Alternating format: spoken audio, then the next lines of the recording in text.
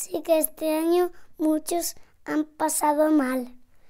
Mis padres dicen que las cosas no son como antes y tenemos que apretarnos el cinturón.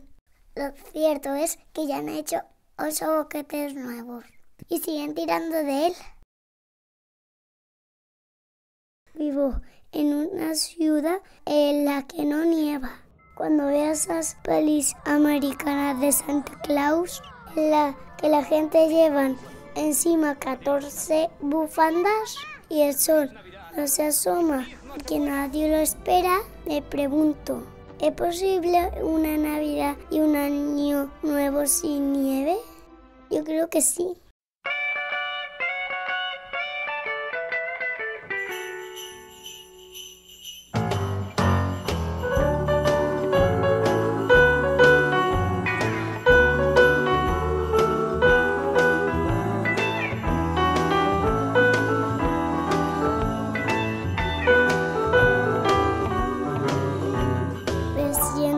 Especial por vivir una Navidad diferente. Una con miles de Santa Claus que no saben qué lo son.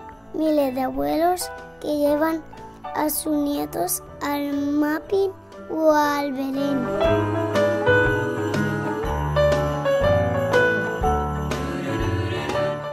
hay nieve y no hace demasiado frío.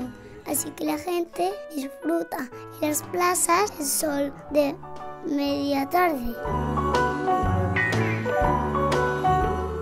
Creemos en los Reyes Magos, que son tres, y vienen de Oriente en una increíble cabalgata. En Sevilla no nieva, no nieva a no ser que queramos, porque en Sevilla todo es posible. Posible Navidad.